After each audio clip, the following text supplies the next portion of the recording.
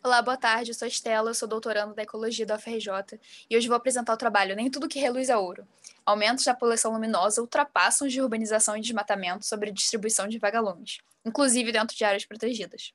Esse trabalho foi aceito para publicação na Insect Conservation and Diversity e está aqui a referência aqui embaixo para quem quiser conferir e o meu e-mail de contato. Bem, a gente sabe que Mata Atlântica é um hotspot da biodiversidade e ela sofreu extensa degradação ambiental ao longo dos anos, principalmente na perda da cobertura florestal. E ela também é coincide com a maior demografia do Brasil, o que leva à grande expansão urbana. Mas além dessas duas grandes maiores manifestações das mudanças de uso do solo, que são o desmatamento e a urbanização, é, o que nem sempre é percebido é que esse desmatamento e urbanização traz também uma poluição, aumento da poluição luminosa que vem sendo cada vez mais estudada recentemente. A poluição luminosa é um problema principalmente para os animais que utilizam sinais luminosos para comunicação e sobrevivência, como os vagalumes. Os vagalumes eles utilizam sinais luminosos para predação e defesa e para comunicação entre indivíduos, é, o que os torna especialmente vulneráveis.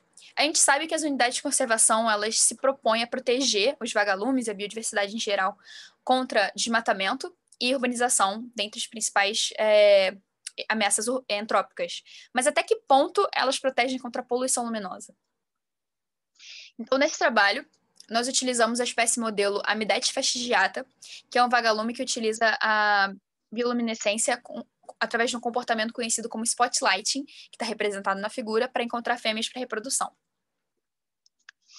É, então, nesse trabalho, a gente estimou a, a distribuição da umidade de coabilidade climática, e nós avaliamos a exposição desses três estressores, poluição luminosa, urbanização e desmatamento, sobre essa distribuição. E avaliamos o quanto que as unidades de conservação são capazes de proteger contra esses estressores. Então, nós realizamos uma modelagem de distribuição utilizando os dados de ocorrência em coletas em campo, é, e utilizamos mapas de poluição luminosa, é, de cobertura florestal e de infraestrutura urbana entre o período de 1992 e 2018 para avaliar o progresso desse, desses estressores sobre a distribuição. E o que nós encontramos é, os três estressores aumentaram é, ao longo do tempo na distribuição da umidade fastigiata, mas que principalmente é, houve um aumento muito mais rápido de poluição luminosa.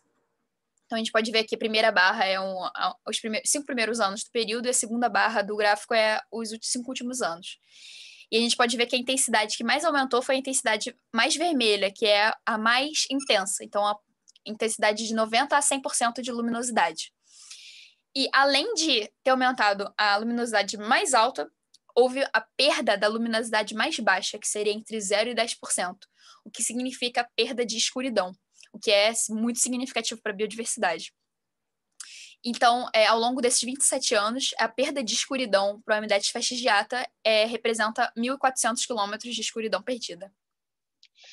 Agora, dentro das áreas protegidas, é, nesse gráfico a gente pode ver, então, as primeiras barras são proteção integral, as do meio são uso sustentável e as da mais da direita são de áreas não protegidas para cada um dos estressores.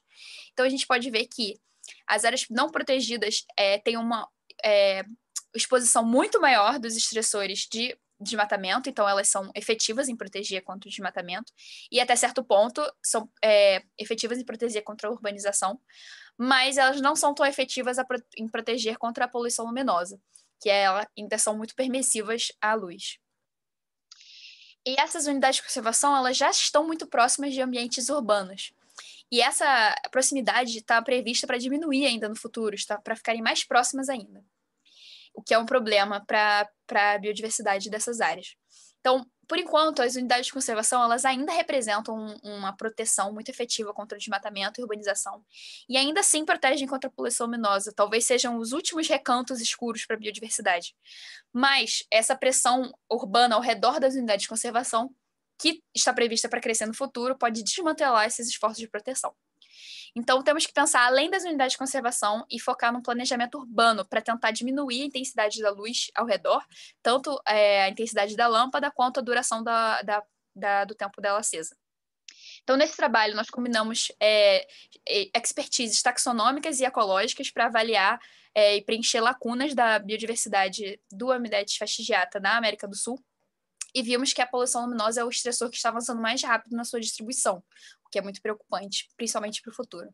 E que essas áreas protegidas elas ainda são um, uma proteção para a biodiversidade, mas é, por enquanto elas se mostram que estão incapazes de proteger completamente contra essas ameaças. Obrigada. Esse aqui, novamente, eu coloco a referência do artigo para vocês poderem ler na íntegra todo o trabalho, com todos os detalhes, e meu e-mail para contato. Obrigada.